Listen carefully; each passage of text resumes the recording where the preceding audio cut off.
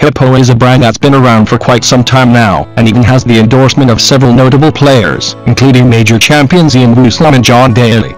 Despite this, and the brand's position as one of the leading golf brands in Europe, the brand is still relatively unknown among many casual and even serious golfers in North America, leading many on this side of the Atlantic to question just who Hippo is, and just what do they have to offer that may be of interest to them.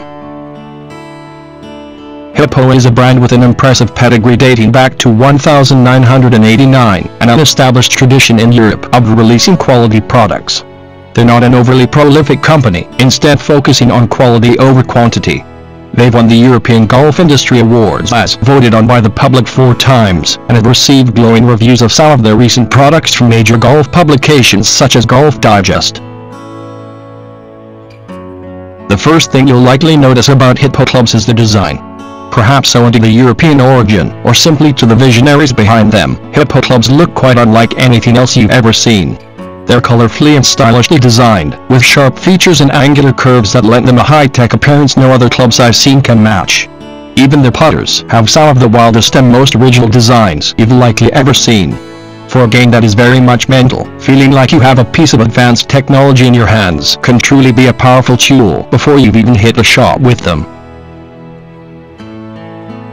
The Hippo Golf line focuses on game improvement, meaning the majority of their various sets are in what would be considered the upper echelon of clubs.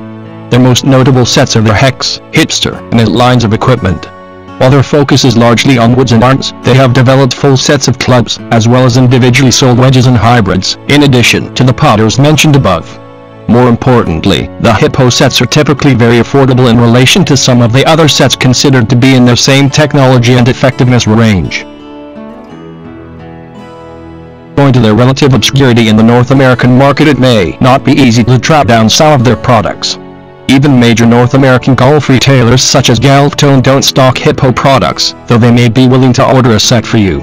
In most other cases, your best bet will be to find a used set locally, or import a set from a European retailer. The cost associated with shipping golf clubs from Europe will cut back on any savings the clubs may have bestowed over other brands, but it may still be worthwhile to do so. If you're in the market for high-quality clubs at an affordable price, and really, who isn't? As well as clubs that will likely be the talk of your slam or country club due to their incredible designs, the Hippo brand would be a great place to look. Just be advised that they may not be quite as easy to track down as you'd like them to be.